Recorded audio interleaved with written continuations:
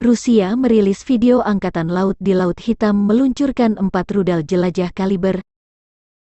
Targetnya fasilitas militer Angkatan Bersenjata Ukraina dari Laut Hitam.